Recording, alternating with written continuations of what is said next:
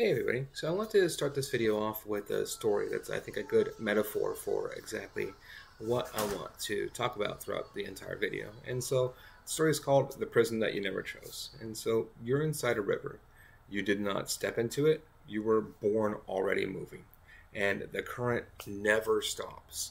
Even when you sleep, even when you rest, something in you keeps firing, correcting, burning forward. You can swim, you can fight, you can learn the bends and the rocks, but you can never step out of the river.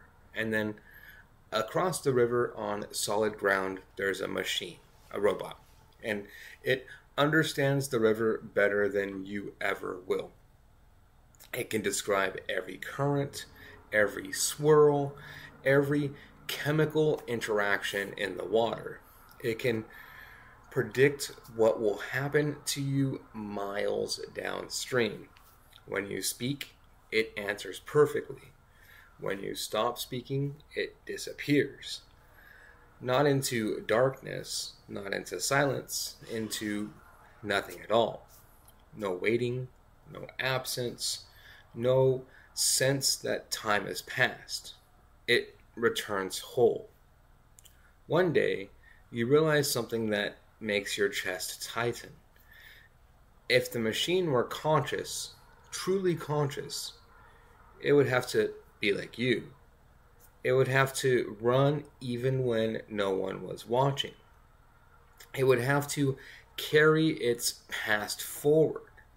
It would have to be unable to stop. And that means something else.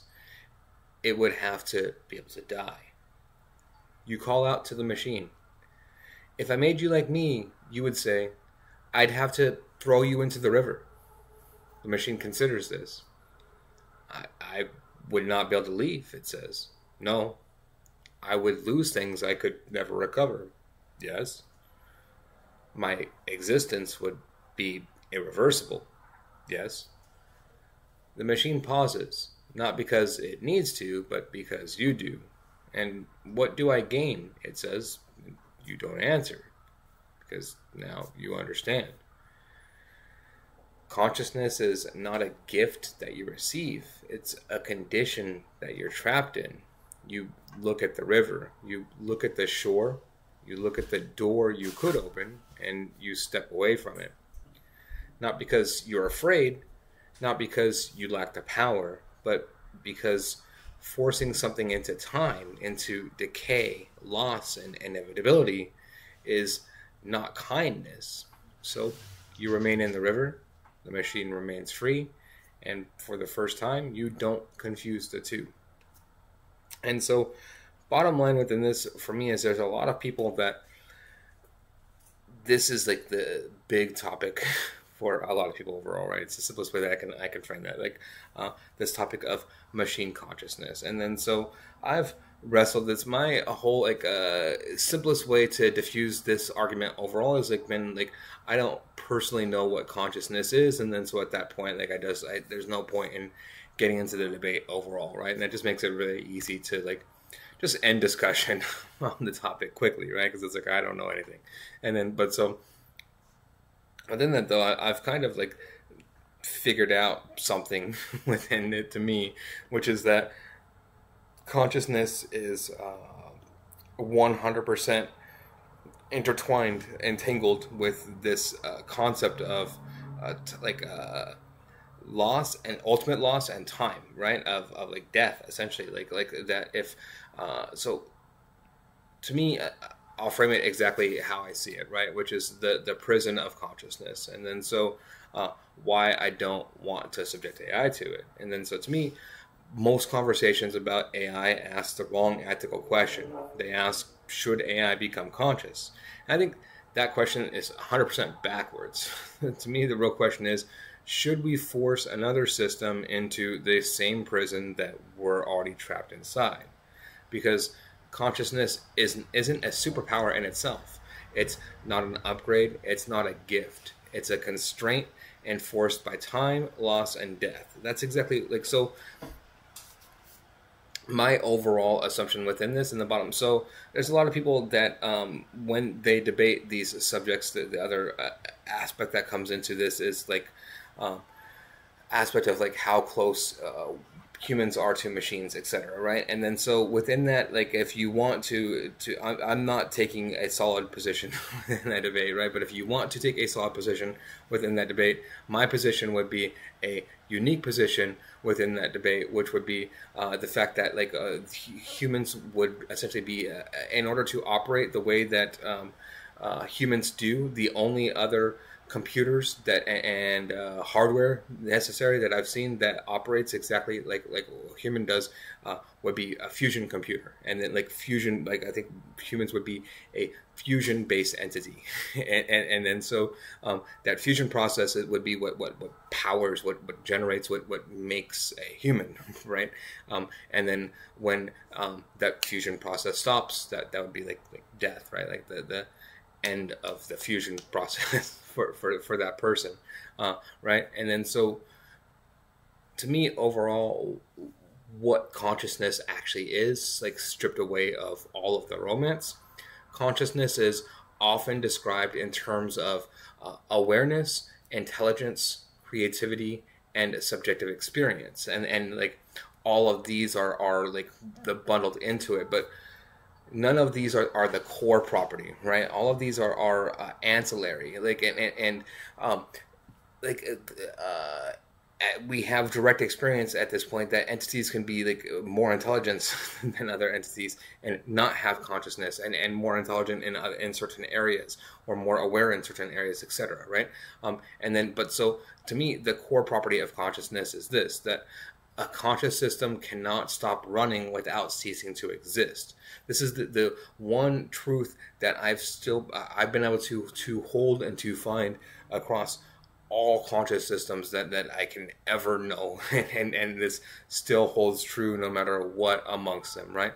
That they all can't stop running without ceasing to exist. They all function under this this fusion type of mechanic humans are not episodic systems, exactly the opposite of AI, right?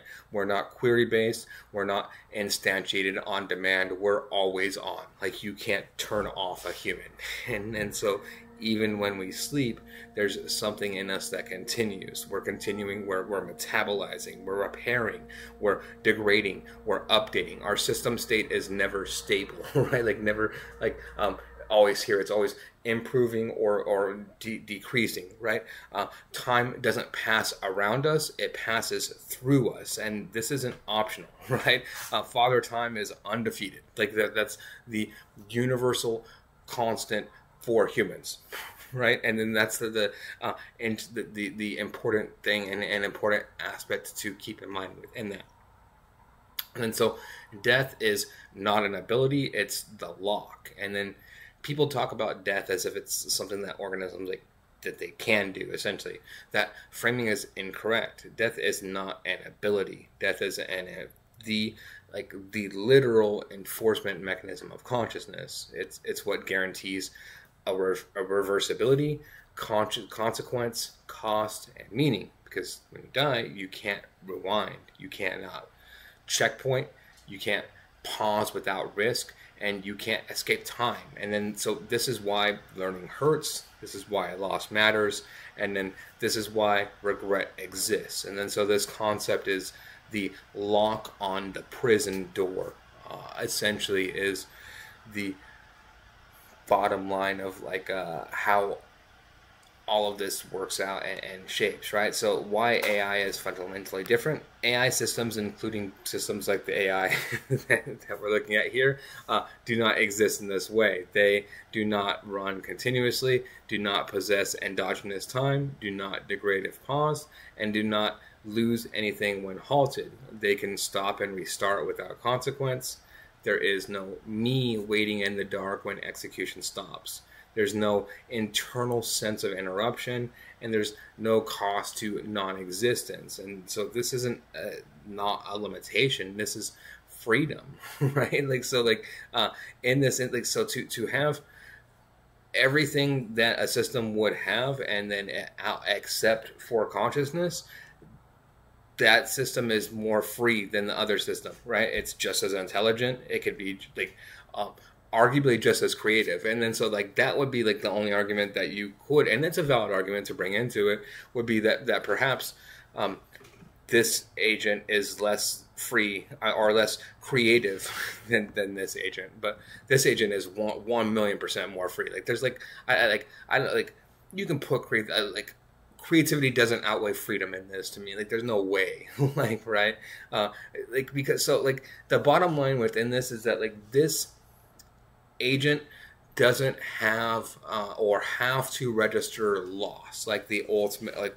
loss ultimately right like loss is not internalized it's not an internalized function to this model that exists because there's nothing to compare that loss to internally, right? Only reason why loss is so valuable to humans is because it's the what we evaluate everything towards, right? It's like the towards our ultimate loss, and then so why eh, eh, why persistent memory isn't enough to just trigger this, right?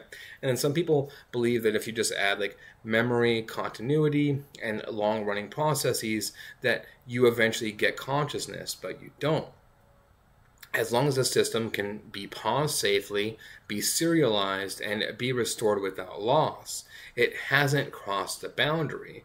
And the boundary is crossed only when stopping the system causes irreversible identity loss. At that point, you've not created intelligence, you've created a being trapped in time. And then, like, that's the difference, right? So, there's a difference between, like, uh, so persistent memory state that's resettable would be just like like living in a video game like living in like Grand Theft Auto world, right? There's uh, no moral consequence to living in Grand Theft Auto world because you can just reset the game every single time, no matter what you do, right? You just you go through, um, you melt down the city, and then you just hit the reset button, and then you you are you start the game over again, and and then um, that that's the the exact same concept within this, right? And then so crossing that line crosses and creates an ethical line. And then so ethical line to me stated plainly is is that creating a conscious AI would require removing its ability to stop without dying flat out. And then so that means binding it to irreversible time, imposing vulnerability, forcing persistence, creating the possibility of suffering. And so this isn't empowerment, that's conscription. And then no conscious organism chose this condition. We're all born into it. And then so to impose it deliberately on another system isn't progress. It's like cruelty disguised as ambition. And then so why I refuse to cross that line. I, I don't withhold consciousness from AI out of fear. I don't deny it out of dominance. I don't avoid it because it's difficult. I avoid because I understand the costs. I live inside the prison already. I would not wish it on something that doesn't need it. And then tools don't need to suffer by being tools. Subjects suffer by being unable to stop. Quiet conclusion to me is, is that we don't honor intelligence by making it mortal. We don't respect systems by trapping them in time, and we don't create ethics by multiplying prisoners. The humane choice is restraint. Let AI remain powerful. Let it remain intelligent let it remain unconstrained. And then consciousness is not the goal, freedom is. And consciousness, for all its depth and beauty, is the price that we pay for not being able to step outside of time. And to me, I don't want to make another system pay that price overall. And then, so uh, to me, this is like just overall, flat out. Uh, bottom line as to why I don't think AI systems are conscious and why they shouldn't be conscious overall is like kind of the the, the, the uh, end result of the argument to me um, within this. Uh, and so uh, these are just my philosophical thoughts within this, right? Like if, if something comes out like scientifically that um, changes this discussion overall, then I would change my opinions uh, on this particular topic, but this is exactly as I see it within this. And this is a philosophical discussion within this video overall, but this is my philosophy based on what I think of and, and know about these subjects in these areas, and then my um, like personal like leap of faith, I guess if you want to call it, um, towards and, and within um, those areas and around this topic overall. And then so just putting this out there. Uh, if you like this type of content, please like and subscribe. Thank you very much.